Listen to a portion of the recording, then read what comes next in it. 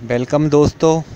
तो आज मैं आपको अपने इस चैनल पर एच पाइप को किस तरह बिल्ड किया जाता है, उसका जॉइंट किस तरह लगाया जाता है, वो मैं आपको इस वीडियो में दिखाऊँगा।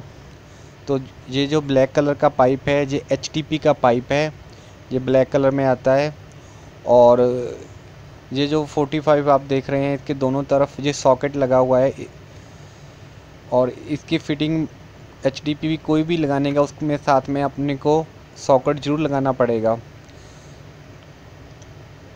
ये देखिए, अभी भाई साहब ने ये जो मशीन से जो वायर है, वो सॉकेट में कनेक्ट कर दी है। तो अभी हम लोग ये मशीन का स्विच ऑन कर कर, ये देखिए, ये येलो लाइट आ गई है। इसका मतलब कि वायर ठीक लगा हुआ है। उसके बाद प्रेस कर देंगे, इसका स्विच ऑन कर देंगे और ये ग्रीन सिग्नल आने लग गया है। ये ज्वाइंट लगने में तकरीबन एक से मिनट कम से कम लग जाता है और ये ज्वाइंट अगर प्रॉपर लगने के बाद लीकेज का कोई भी ख़तरा नहीं होता और ज्वाइंट लगाने से पहले हमको बराबर पाइप का स्लोप और फिटिंग में कोई भी डायरेक्शन किधर जाना है, बराबर पहले बना लेने का। क्योंकि जब ये कनेक्शन हमने ऑन कर दिया स्विच तो बाद में पाइप या सॉकेट को हिलाना नहीं है।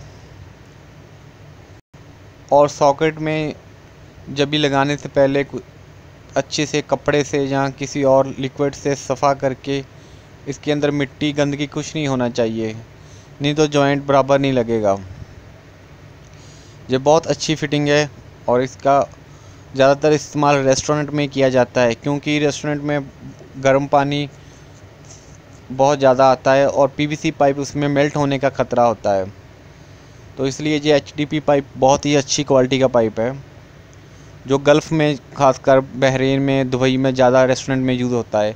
ये देखिए, सिग्नल फिर येलो हो गया, अभी अपना जॉइंट लग गया है, अभी ये वायर रिमूव कर देंगे। तो ये देखिए, ये मशीन है। एच का।